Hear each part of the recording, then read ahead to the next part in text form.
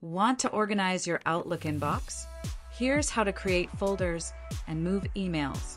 Open Microsoft Outlook on your desktop. Look at the left hand sidebar where your email folders are listed inbox, sent items, drafts, and more.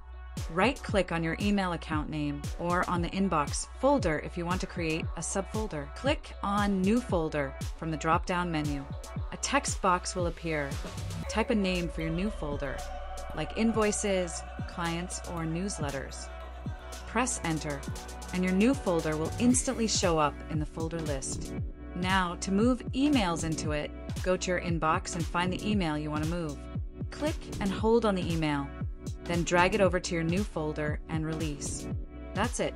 Your email is now neatly filed away in your new folder.